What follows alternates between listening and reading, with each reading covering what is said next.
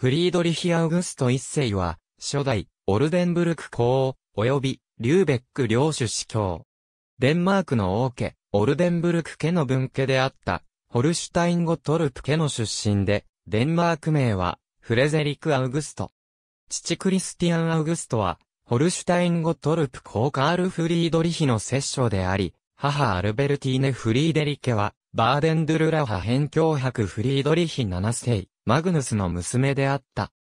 長兄カール・アウグストは、父の死後リューベック司教皇くらいを継いだが1727年に、急死、後を継いだ時系アドルフ・フリードリヒは1750年に、リューベック司教皇くらいを、フリードリヒ・アウグストに譲り、翌1751年に、スウェーデン王、アドルフ・フレドリクとして即位した。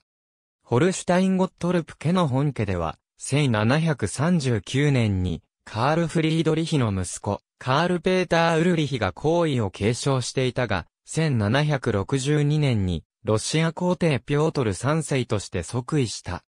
ピョートルの皇后エカチェリーナは、フリードリヒ・アウグストの命であったが、同年のクーデターで、夫ピョートル3世を廃位し、代わって、自らが、帝位に就いた。ピョートルは、廃後に間もなく暗殺されたが、ホルシュタインゴットルプ皇位はピョートルから、息子パーベル一世に継承された。1773年、当時皇太子だったパーベルは、ホルシュタインゴットルプ公領に関するすべての権利を、デンマークノルウェー王クリスチャン7世に譲り、引き換えに、北ドイツのオルデンブルク伯領を獲得した。同年、パーベルは、父方の大王子であるフリードリヒ・アウグストに伯領を譲り、翌1774年にフリードリヒ・アウグスト・アパーベルによって、オルデンブルク公とされた。フリードリヒ・アウグストは1785年に、オルデンブルクで死去した。オルデンブルク公位は、息子ビルヘルムが継承した。